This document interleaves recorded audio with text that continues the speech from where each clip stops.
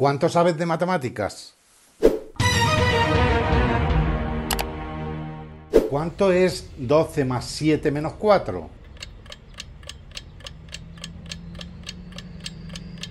15. ¿Cuánto es la raíz cuadrada de 100?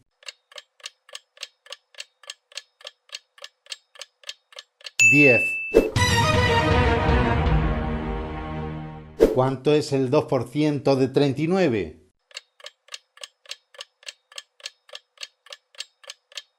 0,78. ¿Cómo se llama el triángulo que tiene todos los lados agudos? Acutángulo. ¿Cuánto es 72x al cuadrado entre 9x?